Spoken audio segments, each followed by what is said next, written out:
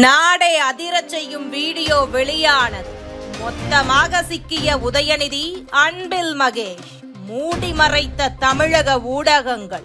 மகாவிஷ்ணு என்ற நபர் அரசு பள்ளியில் சென்று மாணவர்கள் மத்தியில் பாவம் புண்ணியம் குறித்து பேசிவிட்டார் என்று தமிழகத்தைச் சேர்ந்த ஒட்டுமொத்த ஊடகங்களும் நடிகர்கள் தொடங்கி அரசியல்வாதிகள் என ஒரு கூட்டமே அவரை கடுமையாக விமர்சனம் செய்தது மட்டுமல்லாமல் அவரை கைது செய்தும் சிறையில் அடைத்திருக்கிறது காவல்துறை. இதெல்லாம் ஒருபுறம் என்றால் தற்போது அரசு பள்ளி மாணவர்கள் குறித்த வீடியோ வெளியாகி இரண்டு நாட்கள் கடந்தும் தமிழக ஊடகங்கள் உதயநிதி சம்பந்தப்பட்ட நிகழ்வு என்பதால் மூடி மறைத்திருக்கும் விஷயம் தற்போது வெளிச்சத்திற்கு வந்திருக்கிறது. சிவகங்கை மாவட்டத்தில் மாவட்ட அளவிலான முதல்வர் கோப்பைக்கான விளையாட்டுப் போட்டியை தொடங்கி வைக்க உதயநிதி ஸ்டாலின் வருகை தந்தார். கடைசி நேரத்தில் அவரது வருகை உறுதி செய்யப்பட்டது. இதையடுத்து மாவட்ட விளையாட்டு மைதானத்தை சுத்தம் செய்யும் பணி சாலை அமைக்கும் பணி போன்ற பல்வேறு முன்னேற்பாடு பணிகளை அரசு அதிகாரிகள் மேற்கொண்டு வந்த நிலையில் மாவட்ட விளையாட்டு மைதானத்தில் உள்ள மாவட்ட விளையாட்டு விடுதியில் சுமார் அறுபதற்கும் மேற்பட்ட மாணவர்கள் தங்கி படித்து வந்துள்ளனர்.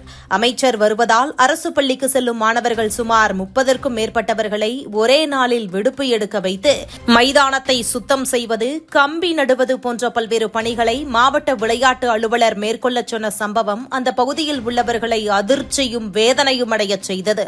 பள்ளிக்கு செல்லும் சிறுவர்களை பணியில் அமர்த்தக்கூடாது என அரசு பல்வேறு விழிப்புணர்வுகளை மேற்கொண்டு வரும் நிலையில் அதை அதிகாரிகள் சற்றும் கருத்தில் கொள்ளாமல் சிறுவர்களை பணியமர்த்தும் சம்பவம் தொடர்கதையாகி வருவது வேதனைக்குரியது என சமூக ஆர்வலர்கள் வேதனை தெரிவிக்கின்றனர். அதிலும் அமைச்சர் கலந்து கொண்ட நிகழ்ச்சி மாணவர்களின் உழைப்பில் வந்த நிகழ்ச்சி என்ற விஷயம் இப்போது பள்ளிக்கு பாடம் கற்க அனுப்பிய பெற்றோர்கள் மத்தியில் பெரும் அதிர்ச்சியை ஏற்படுத்தியிருக்கிறது. மகாவிஷ்ணுவின் விஷயத்தை பெரிய விஷயமாக எடுத்த எந்த ஊடகங்களும் அரசியல் கட்சி தலைவர்களும் ஒரு பேச்சுக்கு கூட மாணவர்களை பணியாட்களாக மாற்றிய விஷயம் குறித்து வாய் திறக்கவில்லை. தமிழகத்தில் இதனை வெளிக்கொண்டு வந்த முதன்மை டிஜிட்டல் ஊடகமாக டிஎன் நியூஸ் டுவெண்டி போர் மக்கள் மத்தியில் இந்த செய்தியை வெளிக்கொண்டு வந்திருக்கிறது. இதற்கு பள்ளிக் கல்வித்துறை அமைச்சர் அன்பில் மகேஷ் மற்றும் விளையாட்டுத்துறை அமைச்சர் உதயநிதி ஸ்டாலின் ஆகியோர் என்ன பதில் சொல்ல போகிறார்கள் என்ற கேள்வி எழுந்திருக்கிறது. பள்ளிக்கு படிக்கச் சென்ற மாணவர்களை ஒரு அரசே வேலை வாங்கிய அவல நிலையை கண்மூடிக்கொண்டு வேடிக்கை பார்க்கும் தமிழக ஊடகங்கள் இதுகுறித்து இனியாவது வாய் திறக்குமா?